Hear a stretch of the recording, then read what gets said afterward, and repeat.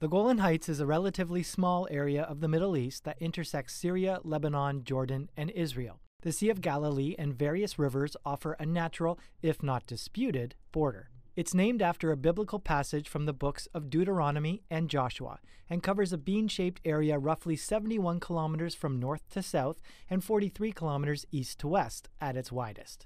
Nations have wrestled for supremacy over the ancient land for more than a century. In modern times, Jews began settlement attempts around 1894, but were thwarted by a hostile Arab population and Ottoman law. The French inherited the Golan as part of their Mandate of Syria after the First World War, and independent Syria took over in 1941. Seven years later, another conflict left many dead while Syria fortified its western border. Israel eventually gained control through occupation of the territory during the Six Day War in June 1967. That's a period of time that saw Israel triple in size while it fought with Arab neighbors Syria, Jordan, and Egypt. Settlements soon followed, and Israel effectively annexed the Golan in 1981. Syria tried to reclaim the land in force during the 1973 Arab Israeli War, that eventually proved unsuccessful.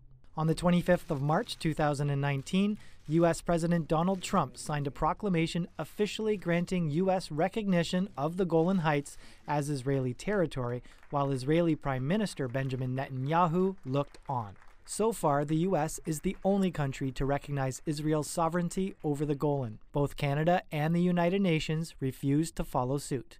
John Hadden, Global News. For more news, sports, and weather, please visit globalnews.ca.